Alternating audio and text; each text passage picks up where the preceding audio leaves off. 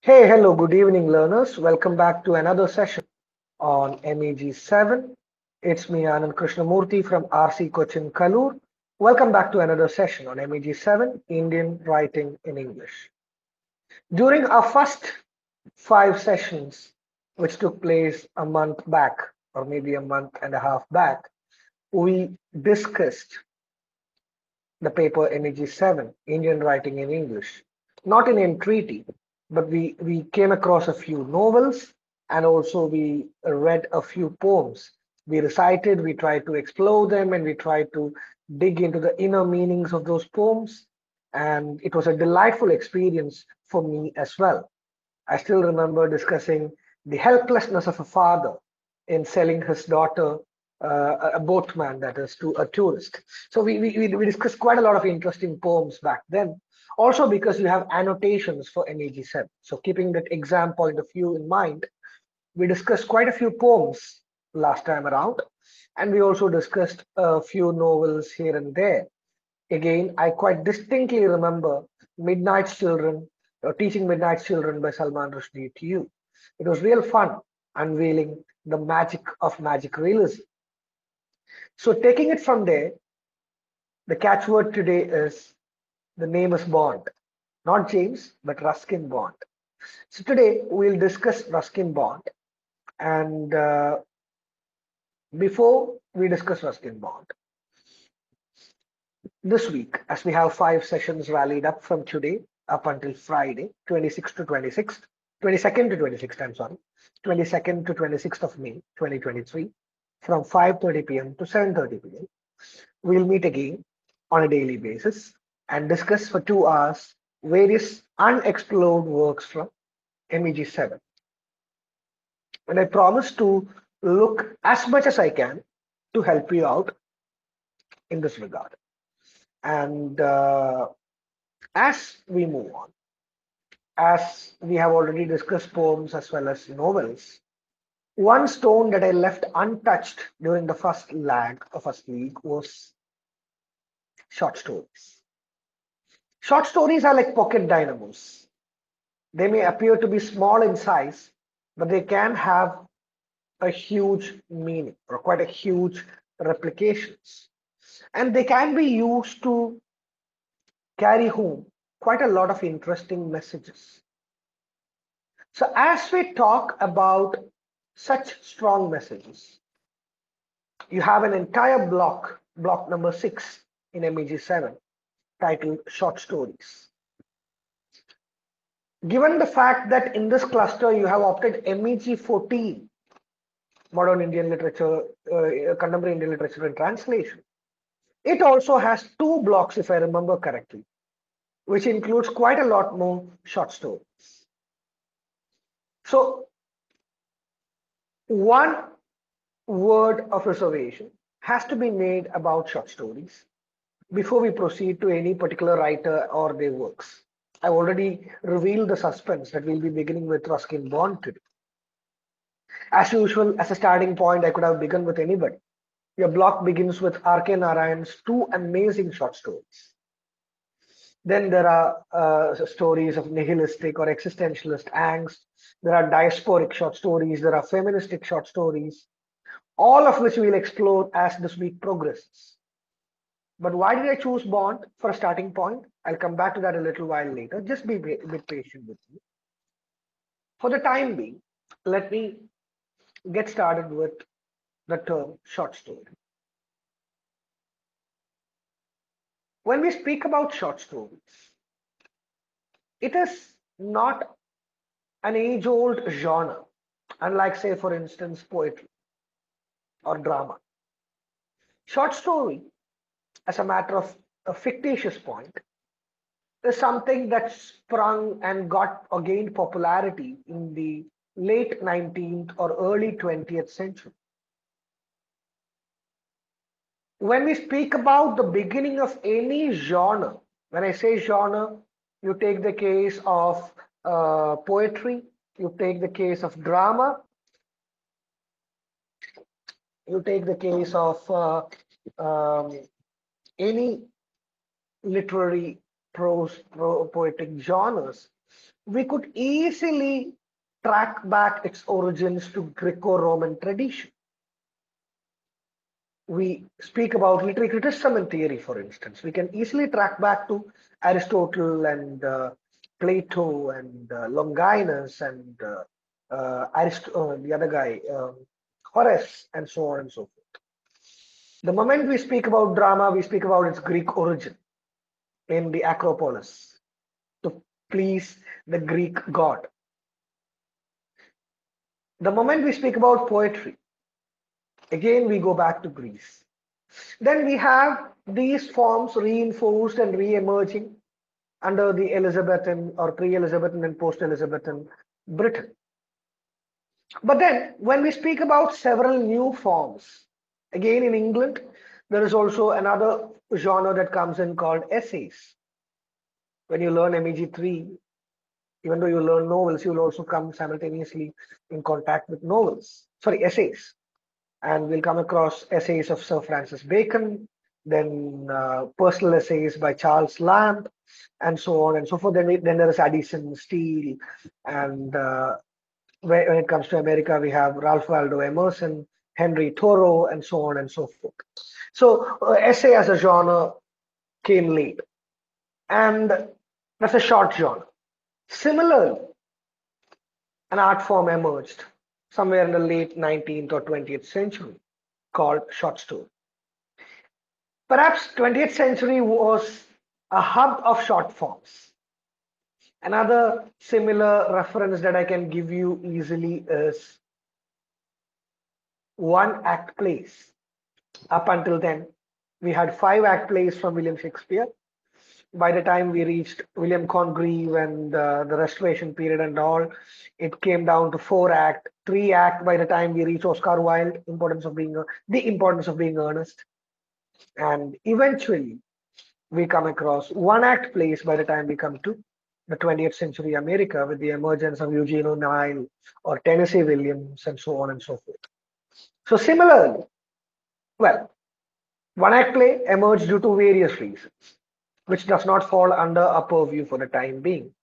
But maybe to keep it as simple as five to six sentences, I can give you the example of how cricket evolved, the game of cricket evolved. Cricket initially was a five day affair. It still is. It was called Test cricket. But in the late 1980s, or much before that, perhaps during the World Cup, the ODIs emerged. 60 over format emerged, and later it became 50 50. It was called ODIs, one day internationals. As time progressed, people didn't have time to wait a whole day in front of the TV to watch their favorite team losing. So by mid early early 2000 uh, 21st century early 2000 say 3 2005 onwards it shrunk further and we saw the beginnings of uh, 2020 so T20s as they are called and IPL needless to say is one of the cash bringing leagues of the world cricket leagues of the world. And now if you look at the Arab countries there is another form of cricket called T10 10 over contests, 10 over side contests. So similarly, people were fed up going to watch five act plays or three act plays. And with the arrival of cinema as a rival art form, people started to, in a way, abandon the theater houses. So in order to overcome these problems, stalwarts like Eugene O'Neill or Tennessee Williams brought in a lot of theatrical devices like music, sound, stagecraft, and so on and so forth, and also shrunk the size by one or maximum two acts, thereby re-inviting the theatrical audience to the wing, to the stage. And uh, to a certain extent that did succeed. And these people also had their ulterior motives. If a one act play succeeds they could turn it into a hollywood screenplay and get good bucks. So that was also there. So similarly short stories also emerged as another pocket genre i have been speaking for quite a while now so maybe let me take a second's break and just ask you how short is actually a short story? Of what length can we call a short story or approve a short story to be a short story? Feel free to unmute yourself and express yourself. I can see nine people in the house. I urge you, this is not a rocket science. This, there are no absolute answers either. I'm just asking you for your understanding of the word short story. How short or how long is a short story in your opinion? So talking about short stories, I'm not going to elaborate on these words due to the lack of time, but let me introduce to you a few terms. You may go back, go back to your blocks or maybe go back to Google or any other sources that you are comfortable dealing with and uh, have a basic reading about what these things are. All right. I just have four terms in the chat box. Flash fiction, short story, novella, novel. You all know what a novel is, so I'm not going to, you know, take my time on that. And uh, if at all, when we come and discuss MEG 3, we'll discuss what a novel is, what its origins are. We'll talk about E.M. Forster, Ian Watt, and so many other people. But then, flash fiction is another latest genre, a postmodern genre which is really short, just like we speak about haiku, for instance. Uh, the distinction has to be made between short story and novella. A prime example is one that Malayalis may be easily uh, Malayalis may easily recollect with or resonate with. There is this writer in Malayalam called Vaikam Muhammad Bashir. Well, as a matter of fact, he's no more, but then he's a legend. Vaikam Muhammad Bashir. Is Vaikam Muhammad Bashir a short story writer? Or does he write novellas? This is for Malayalis out here, if any of you are there. Is Vaikam Muhammad Bashir a short storyist? Or does he write novellas? So that's a very tricky question because his writings are, let's say, 100, 100 plus words, uh, pages long. And uh, it's difficult to call it a novel, novel proper. But then they are often addressed as novellas. But then he has also written short stories that are 60 to 80 pages long. So short story is actually not basically about length. It is rather like Venkatesh quite rightly observed. It's more about the fewer number of characters, plot development, complexities, and so on. If the plot is too complex, then perhaps that would end up being a novel. If the length is too long amidst this chaos, inevitably that ought to be called a novel. Short story is not really about size. It's not about Again, you spoke about word lengths, 1000, 1500 or 5000. Mind you, an MS Word full page would carry 350 to 400 characters. And an MS Word page is actually double folded to make two pages or rather four sides, right? So basically 800 words or 800 to 1000 words makes four sides of a book. So if you are meaning to say four pages means a short story, it may not always be the case. There could be pages which would be, there could be stories which would be 16 to 20 to 30 pages long and would still be called a short story. And short story as a genre, just like I said about Eugene O'Neill and Tennessee Williams and how they popularized one act plays in America, short story also as a genre became experimented and popularized in America. Again, this is a personal observation. You may beg to differ, but my observation is that 20th century America had with it a string of masters who take short story to newer heights or greater heights. The best one to start with is Edgar Allan Poe. You will all be aware of him. He is accredited with a lot of things. He's a poet, He's a critic. He's regarded as the father of detective fiction. Also, he has written quite a lot of short stories and also known as a dark romanticist. Again, a word for you to Google if you want to explore that further. Romanticism versus transcendentalism of Thoreau and uh, Rousseau. Transcendentalism. Yes. So these are things that you could go back and refer. So talking about Edgar, Edgar Allan Poe, he has written quite a lot of short stories, and he fathered uh, what may be called as detective fiction, thereby adding popularity to short story as a genre.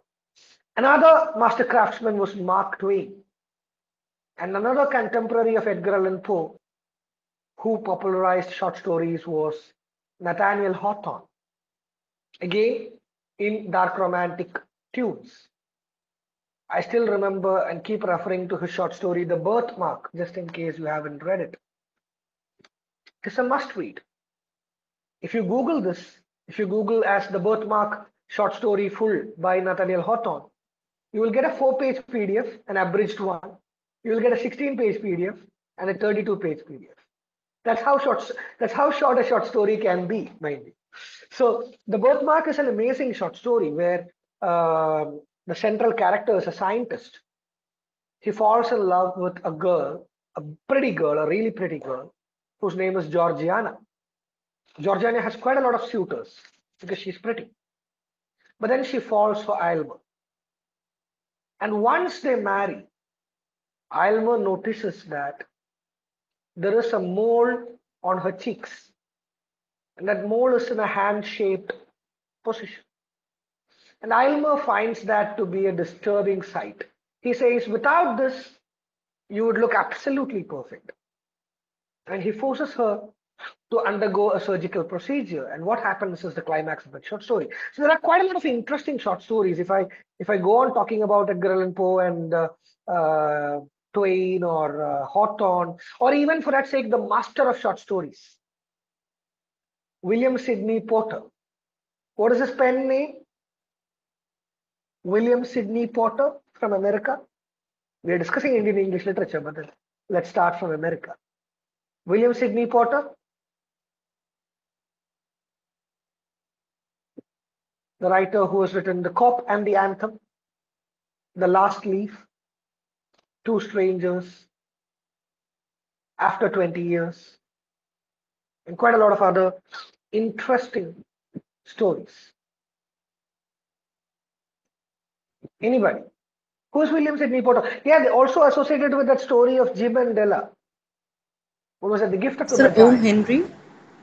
O. Henry, precisely. O. Henry. So O. Henry took American short fiction to another level. What was special about O. Henry's short stories? There is something peculiar or unique about O. Henry short stories. The moment we say metaphysical poets, we say concise. Similarly, the moment we say O. Henry, what is the peculiar attribute of his uh, short stories? Anybody? So he romanticizes the commonplace and the common people? Okay, taken. But that's I'm, I'm talking about the uniqueness. There is one thing that is common to O. Henry's short stories alone. So he uses like situational irony in his work. Okay. You're, you're close. You're close. Just proceed a little further, you will get the answer. Sir, surprise endings? Exactly. Also called as surprise Plot endings are also called as twists. Yes, plot twists. So O. Henry introduced surprise endings or plot twists to his short stories, and hence there were quite a lot of readers to his writings. And he took short story to the next level. When it comes to India, Indian short story was really at its infancy. And uh, your block would have different opinions though. You have your first unit which talks about what a short story is, what its history is, and it speaks about the six basic elements of a short story. And uh, these things I'm not going to deal with because these are things that you're supposed to already be aware of. So, and there is no, no rocket science in block one.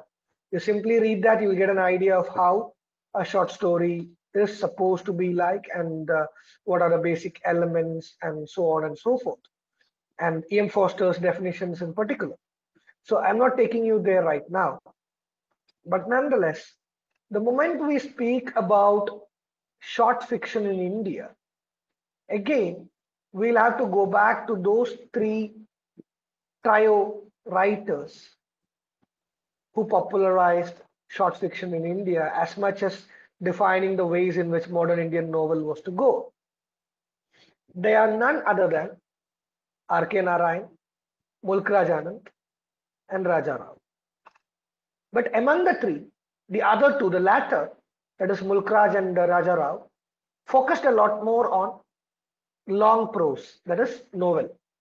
Whereas Sir, R.K. sir, sorry to interrupt.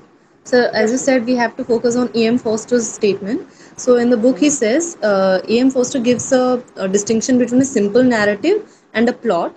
He says the king died and the queen died is a story. The king died and the queen died of grief is a plot. So, please explain this. that is, see, okay, can would you mind repeating the statements once again? I'll, I'll make it Yes, very sir. clear. Okay. King died, The king and the died king died and the queen died, right? in is a story. Is a story. No, The king died Yeah. and the queen died of grief is a plot. Yes. So what is the difference? The king died and the queen died is just a narration, a, a, a sto- what do you call a, a situation that you are exploring. But the moment you say the queen died of grief, yeah, eh, precisely, Pritiji, the causal relationship is established. There is plot, there is drama, right? It needn't be the queen died of grief. It could also be like the king died and the queen was beaten to death. It becomes far more exciting. It becomes a better plot then. Am I clear? Yes, sir. Thank you. Yeah, your good name, please, because it says Field Zone. Sir, actually, I can't change it. It's my YouTube channel's name, Feel Zone. And that's okay. What's your name? So, my name is Shivangi Singh. Shivangi. All right, fine. Thank you. Okay, Because thank we you, keep sir. interacting, no, it's better to call you by name than you know your YouTube channel's name. So that's why. Thank you. Okay. So where yeah, so I was talking about how those three were into popularizing prose and how, unlike the other two, R.K. Narayan was equally interested in writing short stories. There are quite a lot of stories with different flavors that R.K. Narayan penned especially you should remember the times 1930s 1940s the indian independent movements going on and so on and so forth so we'll come to that a little while later but i'm just taking you through the blocks very quickly so you have rk narayan and uh, yeah um, just give me a second i think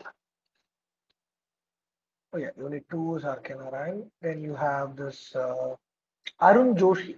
He's a very exciting character to whom I'll come back sometime this week because he's an existential. You know, the re- the reason why I like discussing Arun Joshi with my MEG learners is if you open Unit Three and read his intro, the intro says an existentialist novelist writing in line with Albert Camus and Franz Kafka. Arun Joshi shifted his focus from social realism to psychological realism. Imagine the stature that we attribute to Indian English writing. We always look at it as a low grade literature compared to the elitist canonical British writings. And immediately you open your block, Unit 3, it says it equates Arun Joshi with stalwarts like Franz Kafka and Albert Camus. So, just in case you are not familiar with Arun Joshi, you will be taken aback. And maybe if a Britisher is reading it, he may find he may take it with a pinch of salt. He may be a little bit offended. Right? Who is this Arun Joshi? How come he be equated with Kafka and uh, um, these uh, stalwarts, uh, stalwart writers like Albert Camus or Jean-Paul Sartre? Something that these people would wonder. But trust me, the moment you start reading Arun Joshi, he's an engrossing, engripping writer.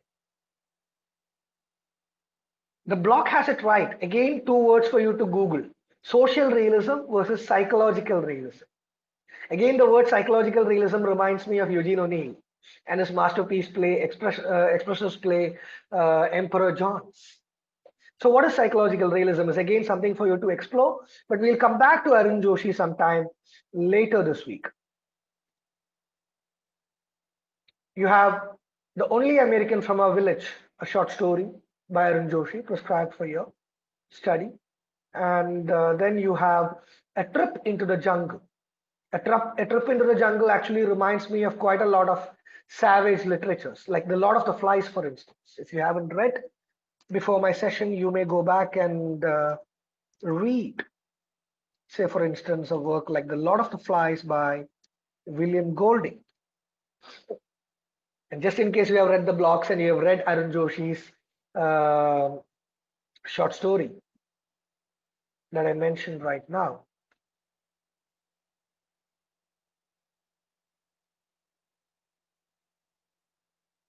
Yeah, I'm sorry. There is a slide. Okay, A Trip into the Jungle. If you read A Trip into the Jungle and attempt a parallel reading of The Lord of the Flies, it would be really interesting. Similarly, as you proceed with your blocks, you will come across quite a lot of gripping tales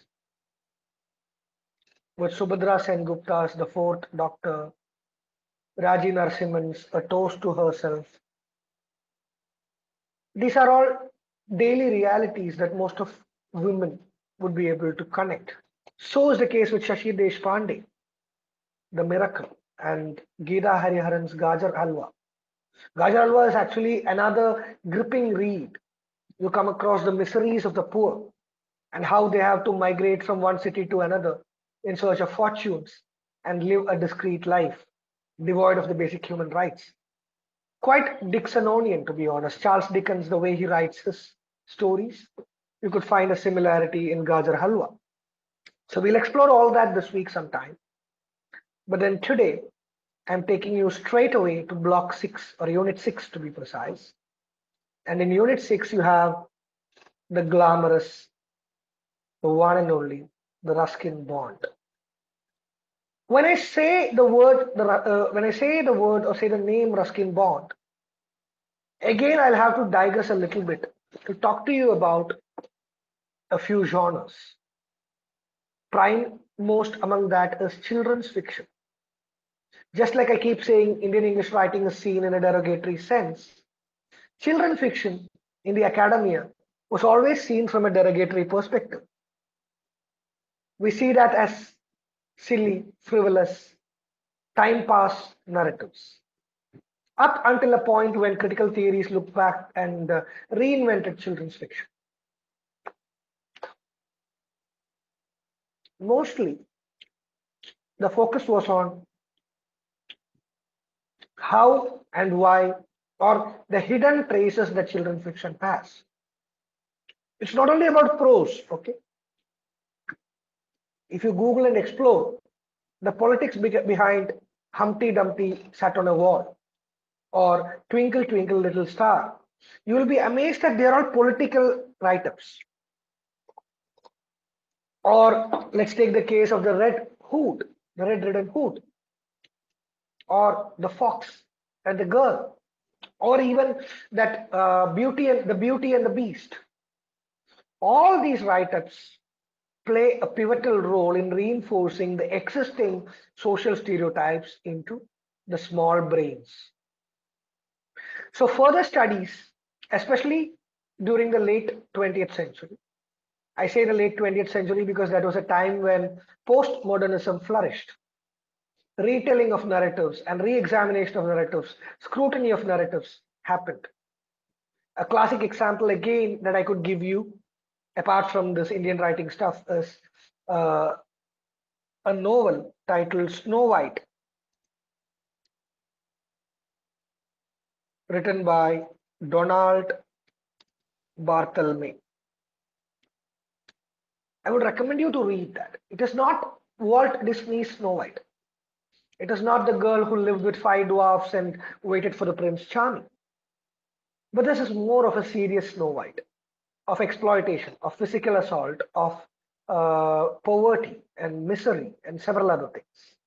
So postmodernism reinvented several seemingly harmless child narratives. And they tried to see us in a different light.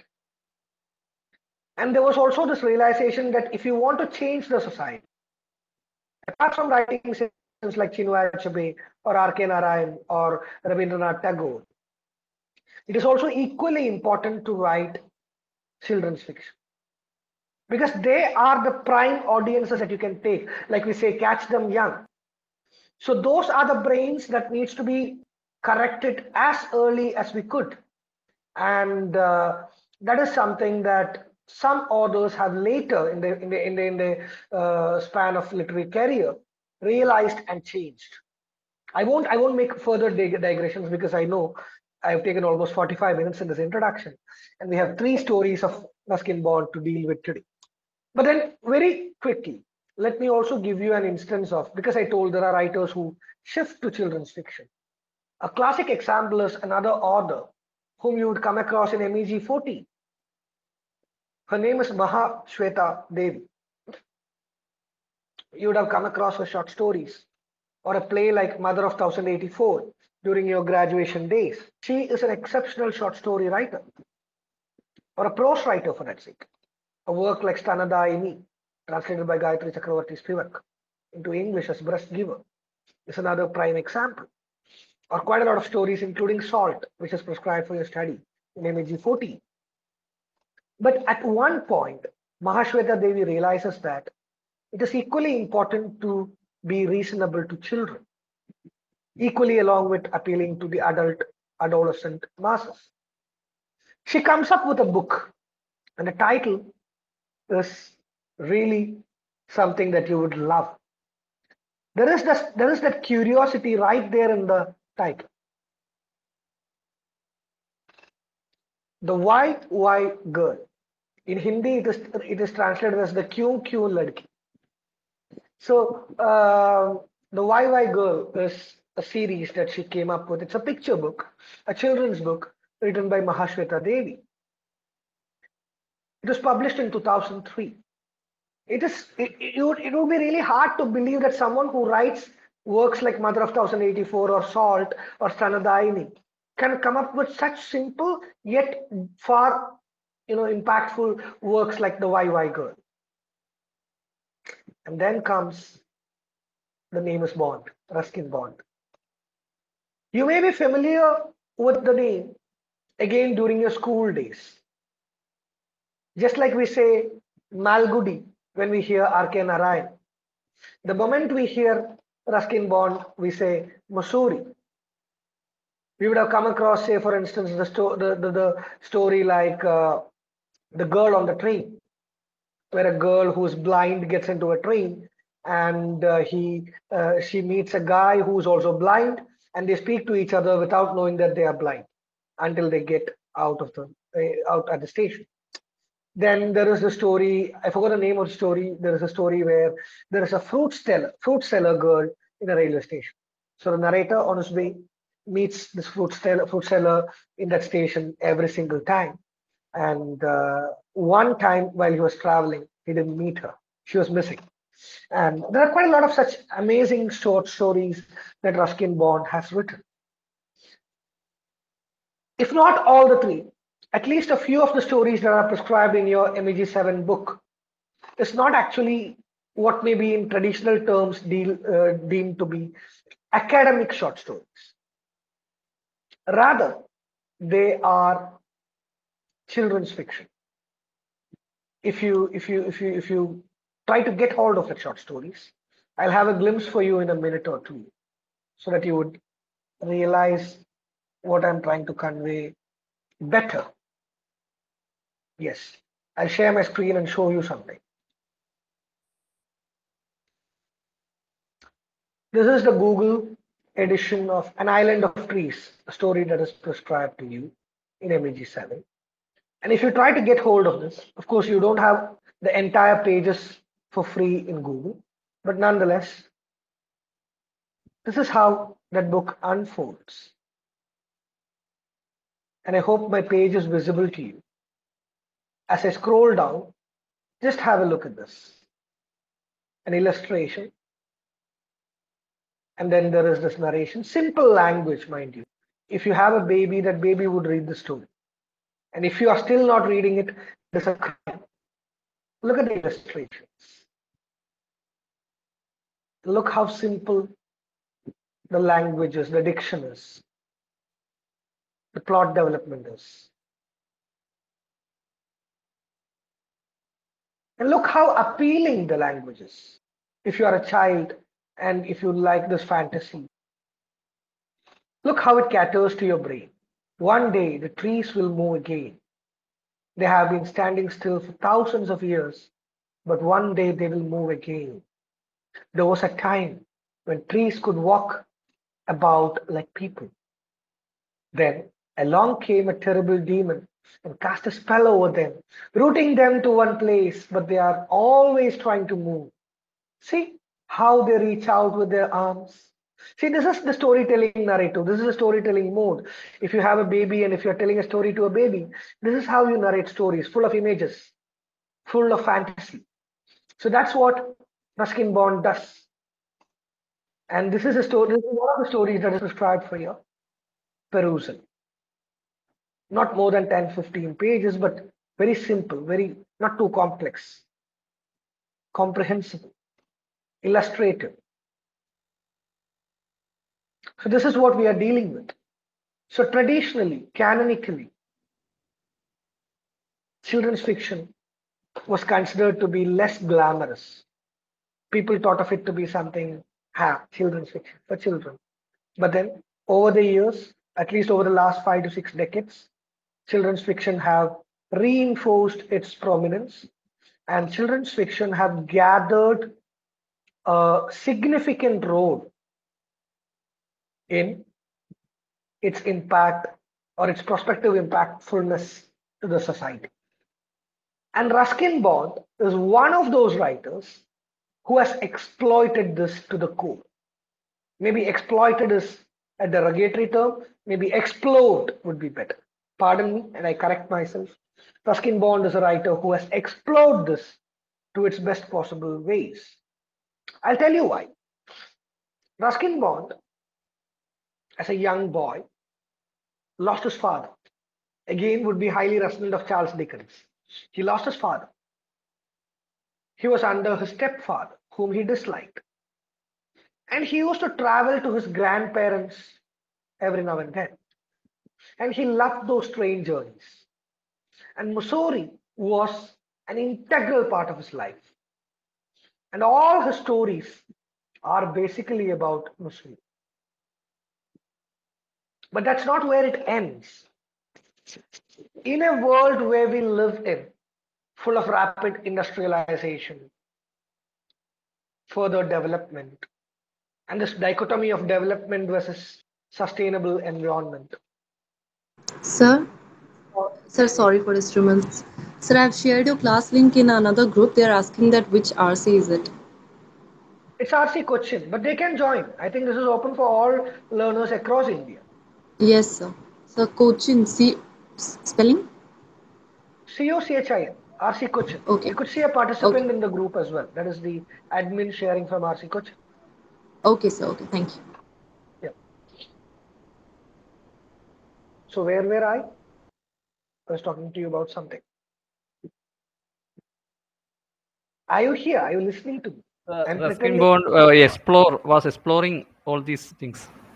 Yeah, he was exploring all these things, and most importantly, I, I was ta- I, I- I was talking about how industrialization and development and everything creates problems uh, from a from the nature's perspective.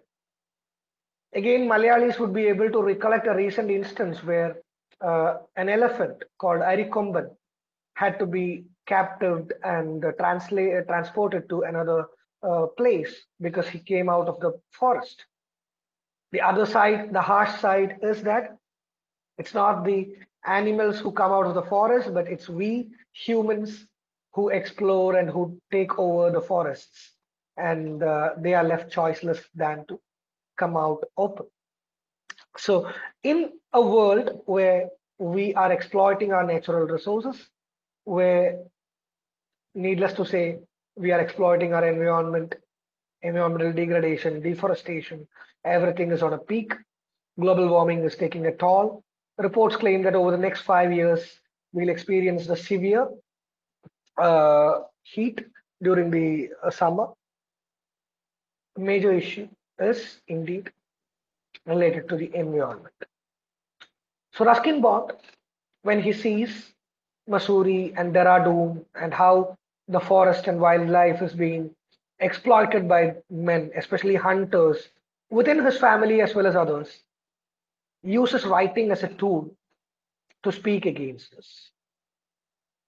Again, I've had hundred digressions enough, but one more because I keep remind, I keep forgetting a lot of things. So at a peak time, I get remembered. Okay, I missed one more. So just one more digression. We spoke about the Untouchable, a novel by Raja Rao, a few sessions back. We spoke about how caste system functions in India. Ruskin Bond started writing at an age of 10. At an age of 18, he bagged his first prestigious award.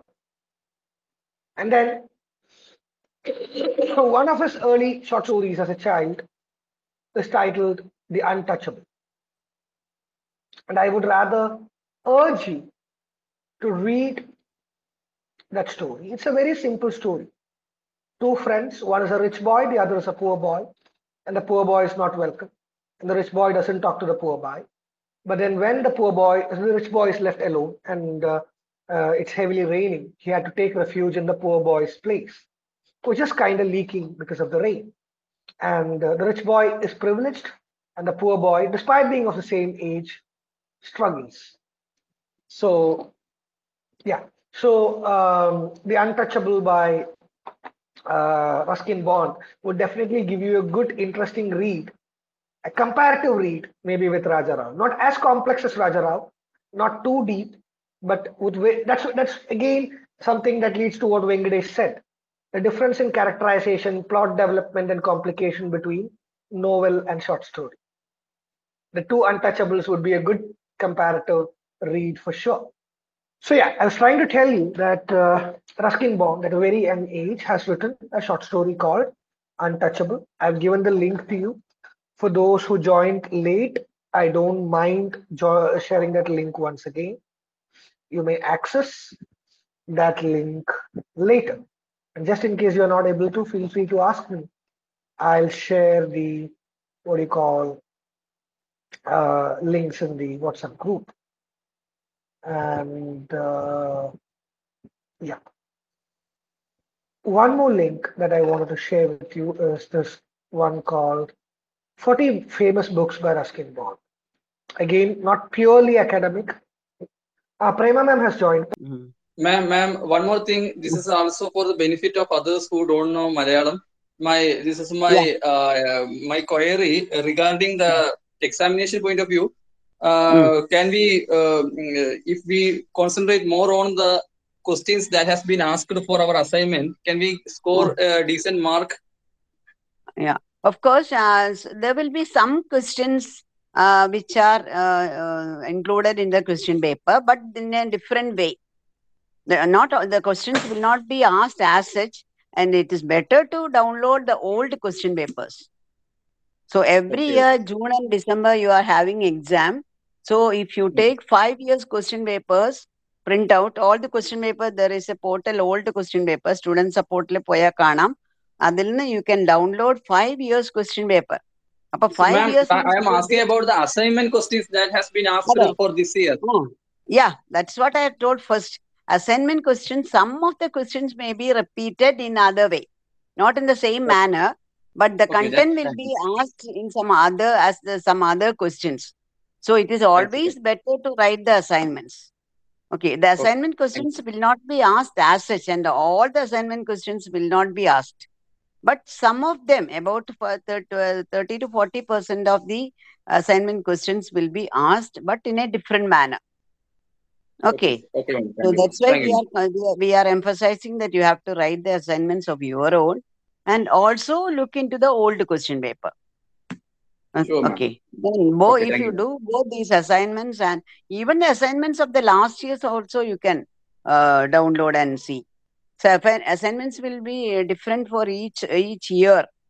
Okay, that also can be done. Okay. So okay, going through the old old question paper, old assignment questions, you I think you can get uh, you can score more than sixty percent. But you should sure, be thorough with the study material. Study material, Ningle each and every word you have to write. Because all the questions will be based on the uh, uh, assign, I mean, uh, study material. Okay. Whatever Mm. reference you do, of course, that is good. But the study material should be the base or the backbone of your study. Okay, ma'am. Okay. Thank you, ma'am. Oh, Okay. okay. Thank Okay, you. Thank you, Anand. Okay. Thank you, ma'am. Thank you. Okay. So I've been lecturing for a long time. So maybe let's get started with something really childish. There is this animated version of Ruskin Bond's story prescribed for you, a very small one. So let's have a look at it. I'm showing that because there are three stories. Two of them are thematically united. The third one is slightly an odd one out. So we'll explore the third one and then come back and quickly go to the remaining two and call it a day. Okay, I'm sharing my screen to you now. And uh, let's watch that and come back. Copperfield in the Jungle is the short story, the second short story by Ruskin Bond prescribed in your blocks. biographical one and it has two main characters Ruskin Bond as a 12 year old boy and his uncle Henry. The other characters are Uncle Henry's friends and Ruskin Bond's grandfather. Bond begins his story by telling us that he never liked hunting. Perhaps he was influenced by his grandfather, who could not understand the pleasure some people got from killing animals of the forests. Birds and animals had as much right to live as humans. Bond found hunting extremely boring. He narrates an experience when once Uncle Henry took him to the Terai forests on a hunting expedition. The prospect of spending one whole week in the jungle with several adults with guns filled him with dismay. They would only talk about hunting a tiger or an elephant, and he did not look forward to it. On the second day of the expedition, he managed to be left behind at the rest house, and during the morning's exploration of the bungalow, he discovered a shelf of books half hidden in the corner of the back veranda. Bond wondered who had left the books there. There were some 30 volumes which had been untouched for many years. Since his reading tastes had not yet formed, he was willing to try anything, and the bookshelf was varied in its contents. On that day, he discovered P.G. Wodehouse and read Love Among the Chickens. By the time the perspiring hunters came home late in the evening with their spent cartridges and lame excuses, he had already started reading Ghost Stories of an Antiquary by M.R. James. The next morning, the shikaris set out for a different area to bag a tiger. They had employed a party of villagers to beat the jungle, and all day Bond could hear their drums throbbing in the distance. In the meantime, he finished reading M.R. James and discovered another book called A Naturalist on the Prowl by Edward Hamilton Aitken. Bond says that his concentration was disturbed only once when he looked up and saw a spotted deer crossing the open clearing in front of the bungalow.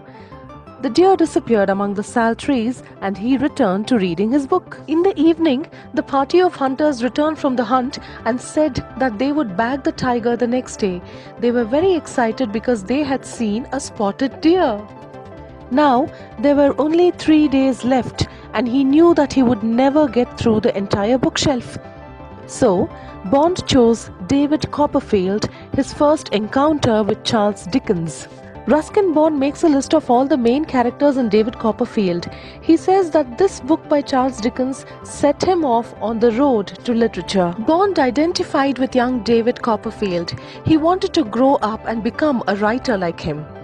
We know that David Copperfield is a veiled autobiography of Charles Dickens. But then, Bond says that on the second day when he was reading the book, an event occurred which disturbed his reading for a little while. He says that on the previous day he had noticed a number of stray dogs about the house waiting for scraps of food to be thrown away. These stray dogs belonged to the watchmen, the villagers, and the forest guards. Around 10 o'clock in the morning, a time when wild animals seldom came into the open, he heard a sudden yelp in the clearing. Looking up, he saw a large leopard making off into the jungle with one of the dogs held in its jaws. He says that the leopard had either been driven towards the house by the beaters or had watched the party leave the bungalow and decided to help itself to a meal. Bond says that he did not see any point in raising an alarm about this because he realized that the leopard had only helped itself to a meal. And he did not want anything to interrupt his reading, so he returned to reading David Copperfield. The Shikaris returned late that evening. They were dirty, sweaty, and as usual, disappointed. They were supposed to return to the city the next day, and none of them had anything to show for a whole week in the jungle. They were discussing that there was no game left in the jungle and that the weather was very beastly. Then Bond told them that he had seen a leopard that morning. But the hunting party refuses to believe him. They attribute his overactive imagination to the influence of Dickens in his vivid portrayal of Master Copperfield. Bond says that he went to bed early that day and left the hunters to their tales of the good old days when rhinos, cheetahs, and possibly even the legendary phoenix were still available for slaughter. The next day, the camp broke up and they went their different ways. Bond was still halfway through David Copperfield and he saw no reason to leave the book behind to gather dust for another 30 years, so he took the book home with him. He says that he still has it as a reminder of how he failed as a shikari but launched himself on a literary career. And with that, we come to the end of the story Copperfield in All right. I share the link of that video here with just in case you wanna go back to that. But then the simple, again, as I told you, these are all children's fiction, so it's not too high, too big things or anything. But then if you look at the plot, Ruskin Bond with his grandfather went to a place and there were people and they went hunting. And just like his grandfather, Ruskin Bond didn't like to go hunting we should note the stark difference between what he sees in the later part of time where a, a, leopard hunts a deer. So he has no objections with it. If a creature has to hunt for its survival, he has no problems with it. But Ruskin Bond is against the human pride or unnecessary, uh, what do you call, uh, showmanship by uh, taking it to hunting. So he stays back and uh, he reaps rewards by reading. And uh, it is autobiographical, and he claims that that phase didn't make him a hunter as they all wanted him to be, but rather it made him a writer. Again, a few things to be noted in that short story is that this is a plain narrative that we witnessed right now. If you read, you will be watching, you will be reading the same narrative. But we, we should pause a moment and wonder who would have set up a library like that in that Shikari house? Like in that house where people would go to go hunting and spend holidays. Who would have probably set up a library? So it could have been someone like Ruskin Bond, an elderly person, like his grandpa, grandfather who hated hunting, or it would have been the wife of someone, a hunter, who hated hunting just like Ruskin Bond does, who wanted to pass her time as her husband went hunting. Possible. But then these are also aspects that we need to think about. Also look at the choice of short stories. Oh, sorry, the choice of books that he reads. David Copperfield is in itself a semi-autobiographical piece of Charles Dickens. And Ruskin Bond, in his work, gets inspired by reading the semi-autobiographical work of a non-Indian writer and turns into writing. So that's a power or magic that literature holds. And again, the story, even though I said it's an odd one out compared to the other two stories, this particular story is actually something that cautions us against or against interventions in the natural surroundings. Jungle belongs to uh, animals, and the human intervention makes it difficult for women, uh, for animals to survive. And Ruskin Bond, through this very subtle plot and subtle narration, tries to remind how important it is to not be vainglorious or boastful, but rather focus on creative things like, for instance, reading books. In an era when we look back and we see that reading is kind of becoming extinct among the adolescents hooked to mobile phones, Ruskin Bond's advice would turn golden because there is no intellectual growth without reading. And if our adolescents do not have that intellectual growth, what will happen? It will be a disaster.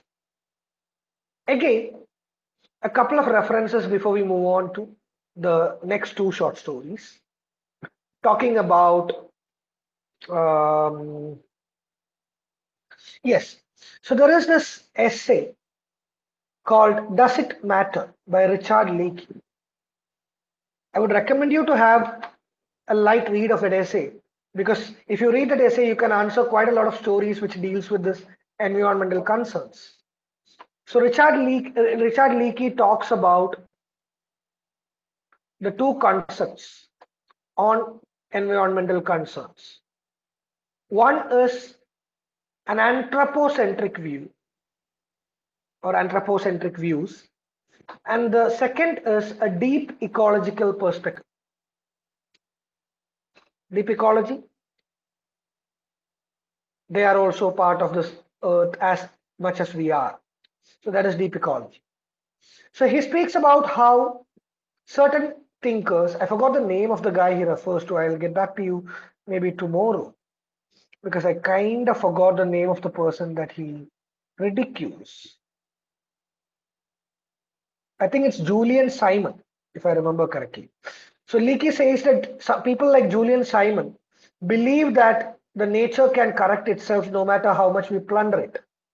He says that they believe they have this false optimism that nature will recuperate on its own. And no matter how much we take from the nature, the nature will spring again. Leakey cautions against such a callous attitude. And Leakey says that we should have a deep ecological perspective. This earth is equally desirable to, let's say, a butterfly, to a tiger, or a human being. So whoever inhabit this earth, they are all equal stakeholders of the earth, according to Leakey. And he tries to say that people like this guy uh, are uh, quite greedy capitalists, crony capitalists, who try to create such stupid excuses to suit their uh, capitalistic needs. So whenever we speak about nature and ecological plunder, even when we speak about Chipko movement or Plachimada strike and all, we would easily go back to Richard Leakey's statements in Does It Matter? I can share it with you if you feel like, if you want. Just a theoretical reference. Now, very quickly, let me get back to the remaining two stories by Ruskin Bond that's prescribed for your study. First one is titled No Room for a Leopard.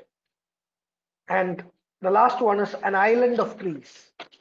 Again, the titles are quite self-revelatory. That's another peculiarity of children's fiction. The titles are self-explanatory in nature. So you have a short story which is titled No Room for a Leopard. So what does Ruskin Bond mean when he says no room for a leopard? Does he say, I mean, do any of us give a room for a leopard at our house? No, that's not something that he means. He speaks about how in a place like Mussoorie, nature and human beings used to remain in harmony. They used to coexist harmoniously. But then, unfortunately, some people started hunting. And the moment hunters came, the balance between humans and the other creatures started to dwindle. And most importantly, trust seemed to wane. So, in No Room for a Leopard, we have a narrator, again semi autobiographical, probably Ruskin Bond, who walked carelessly in the forests. Initially, birds or other animals looked at him skeptical. they flew away. But the more they got accustomed to the boy, they stayed still. They're okay with it. He used to walk through the forest, meet anim- see animals, and uh, they didn't pay heed to each other. They didn't disturb each other's harmonious living, and used to mutually coexist. And then the twist happens. A group of leopards invade the forest. They invade the forest and they go in search of a leopard. Why?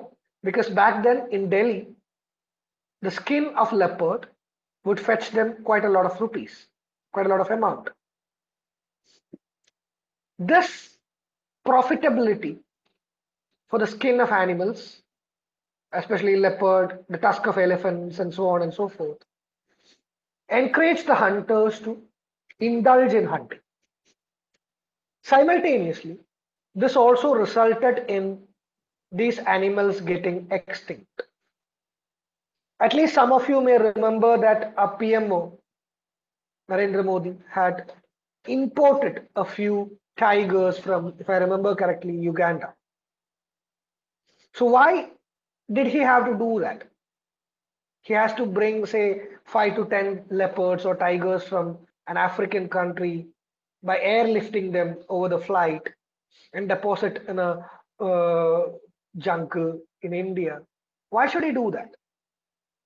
Precisely because their breed is getting extinct in India.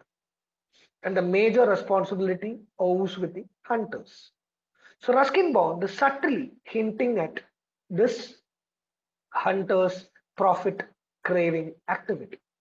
So he says that because the leopard skin gave them a good amount, the leopards explored the jungle in search of a leopard to hunt the leopard. So on their way, they sees this young, young guy and asks him if he saw the leopard. Even though he had seen the leopard, the young boy refuses to acknowledge that. Again, the deep connection or deep bonding between young children and nature is something portrayed there. The next day, as he walks through the jungle, he sees or he, he feels something in a cave and he realizes that it's a leopard. But again, the leopard is calm. The leopard doesn't attack the boy. By being accustomed to the boy and humans who are not troublesome, the leopard and the other creatures start to build a trust on human beings.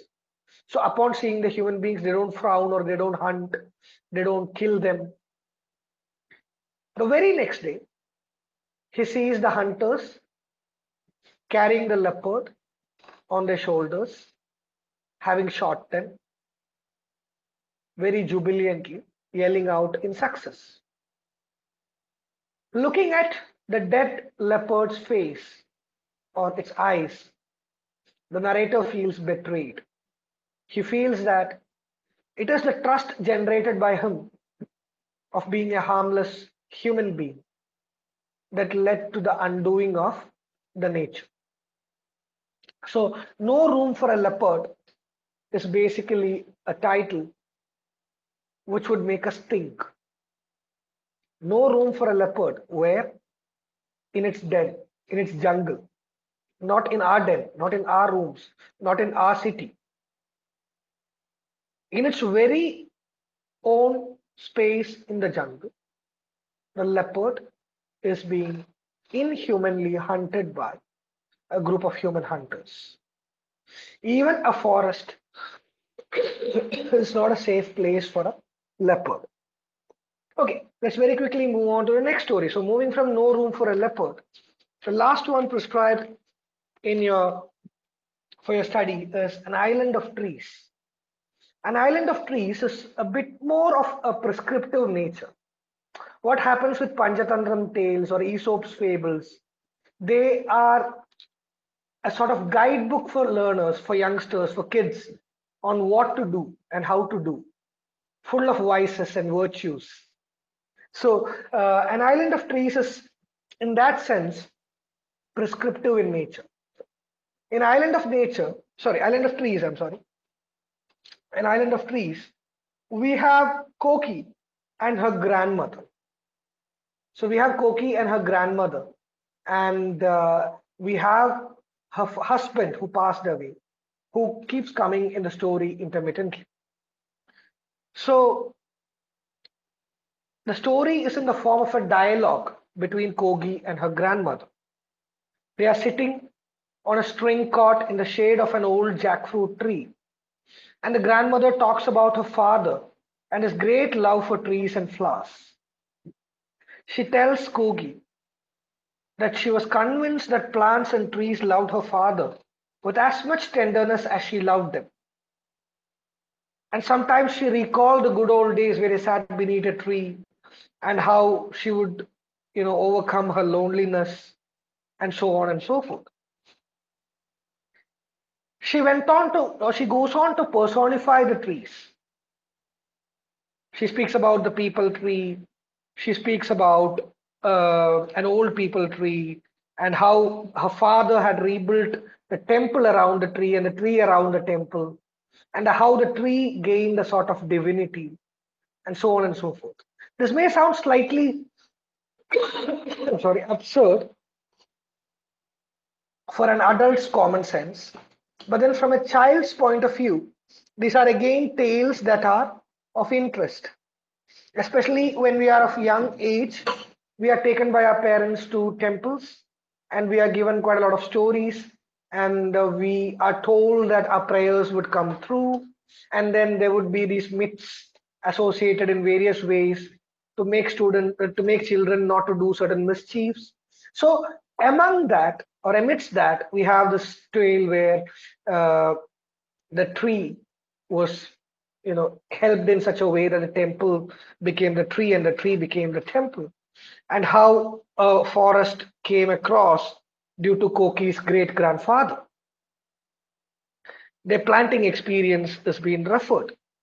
So, unlike in No Room for Leopard, where we could see an animosity towards animals among the human beings, or especially the hunters, in An Island of Trees, we could see a pantheistic viewpoint. Again, if you remember MEG1 and if you remember William Wordsworth's poems, he brings up this pantheistic outlook, P-A-N-T-H-E-I-S-T-I-C, or ISM, whichever way you want to pronounce it, pantheistic or pantheism. Pantheism is worship of nature or God, worship of nature as God. Sorry. Ah, yeah. So, by the time the story reaches the climax, the grandmother gets back to her old place and the animals look at them like strangers because they have not seen them but the moment she touches a tree she feels like they realize her they recognize her and she says that all the trees nod in approval because they had planted those trees and when she returns home they have turned into a jungle the small saps that they had planted have turned themselves into large, thick, dense forest, jungles. And they, they approve or they recognize the grandmother as the story comes to an end. Among the collection of short stories that you have in MEG 7, these three stories by Ruskin Bond, in an academic sense, I must say, in terms of its language, is nothing. But if you would love to explore the significance children's literature has gained over the last few decades, if you want to explore how such small tales can sow seeds for a brighter future, I'm using metaphorical language in tunes to what I'm teaching you right now, okay? If you realize how such small tales can sow seeds towards a brighter future. We are again talking about protecting environment in different stories. So sow seeds towards a brighter future by enlightening the children, very young, small brains, right from their beginning, trying to condition them to a eco-friendly outlook, then that's what Ruskin Bond has tried to do. And that's what he has probably craved to achieve. And these three stories are standing testimonials to that efforts of Ruskin Bond. As I have already told you, this is not only the case of Ruskin Bond. People like Mahasweta Devi have turned from hard fiction to children's fiction.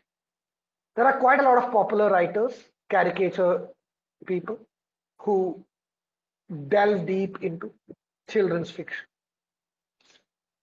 Children's books or comics are no longer deemed apolitical or harmless.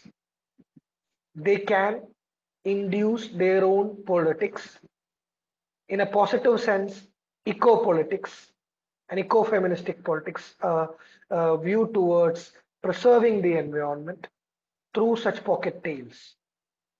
And Ruskin Bond has been trying to do this all the way along. So that's it about those three stories.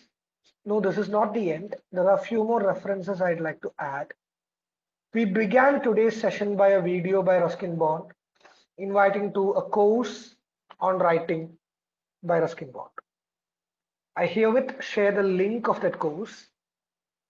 The present offer is 999 rupees instead of 1500 rupees to have lifetime access of all lessons from any device and to receive a certificate of completion.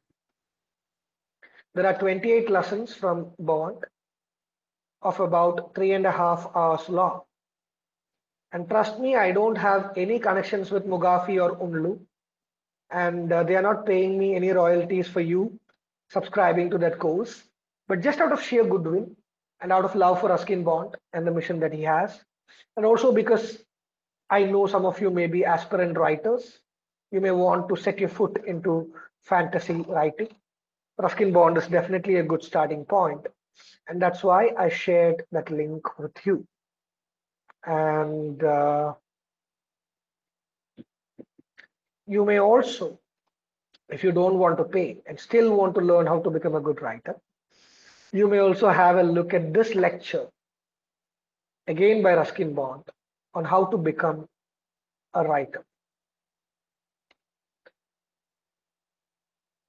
He's a legend for a reason. He, the way he's actually, literally, he is. I began by saying Bond, James Bond. He's actually the James Bond of the literary world, and uh, the simplicity in language that he has is something that would, in all probability, attract you towards him and uh, I request you to go through these links as well.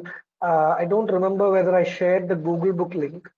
It's not completely free, but then you may still have access to that from here as well. And let me also. These are easily accessible in. I mean, this is already available in Google. You don't need me to share these links but then I'm also sharing a few links just in case you haven't gotten there yet. These are a few pointers that would help you to appreciate MEG7 better. Also, let me see if I can send you that Richard Leakey's essay. Just give me a second. Sir, I have a question. Like I yes, please. I, I was I was just about to leave the floor open for questions. We have almost completed the tour today, and uh, my so my throat is kind of giving me trouble. So I thought I'll have the Q and A open. Yes, go on. So since we are reading about nature and since it is an Indian English literature, so while you were talking about that leopard, sir, so just I was uh, having some flash of thoughts in my mind. I couldn't listen to you. I was just thinking that don't like uh, people these days. We can see people talking about literature, Veda, and all this. So don't we have uh, these uh, awareness about animals in our Indian literature, like Veda and all? like not to harm the animals because no one talks about that Uh, see, that's where the problem is. When such deeds are committed against nature, everybody knows that they are harming it. But then those who harm nature have their own justifications. That's why I, I quoted uh, from Leakey. He says that there are people who say that nature will recuperate its, itself in various ways. Even after Hiroshima bombings, things have fallen back to place. So no matter what you take from nature, nature can get back to its old shape. So people make such excuses. And fortunately or unfortunately, power hierarchy also plays a major role. You have a look at, you know, I'm in a public platform and the session is being recorded. So I'm not sure how much I can take these names. But look at any uh, developmental projects that happens across the nation, whether it's a port or whether it's a road highways or whether it's an expansion project through the forest. Who are the names associated with it? They're all the Ambanis and Adanis and the big wigs, and their motive is always ulteriorly profit. They are not here to really contribute to a holistic natural development of the world. If, let's say, Ambani or Adani or anybody claims that we will give uh, water for free by taking all the rivers, then that is a scam. I'm not sure how many of you have seen this movie. Uh, it is a Tamil movie. I'm sure you would find a dubbed version somewhere in um, YouTube. It's a Tamil movie starring an actor called Karthi. The name of the movie is uh, Sardar. The movie explores how the water mafia have have kind of hijacked our resources. Just like air, water is supposed to be something that is to be come to come to us for free. But then these people put a charge to water, saying that charge is not for water but for the plastic bottle that they give us. So it was 5 rupees initially, 10, 15, now it's 20. And that is not completely healthy. We say mineral water, but if it's not you know preserved in a close environment, if it's exposed to sunlight, it can cause bacterial reactions. So the same case can be seen in different ways. You speak about uh, Bournvita, or you speak about Horlicks or Boost, or any other soft drink. You speak, you speak about Coca-Cola. During my class, I was referring to the Plachimada struggles. Yeah. So all these can again be taken into consideration. So who are in the lead? So what is their motive? So these stories from the Veda, see, India is is a land which has this popular uh, phrase called Vasudhaiva Kutumbakam. We are all one. We humans, animals, pests, everything bound together are the owners of this earth. But then when it comes to such hierarchical power political exploitations, all these things goes for a toss. Take the case of coal mines. Take the, take the case of digging and exploitation that goes with the land mafia. So all these are beyond one or a few people's armed revolt or, or uh, combined efforts.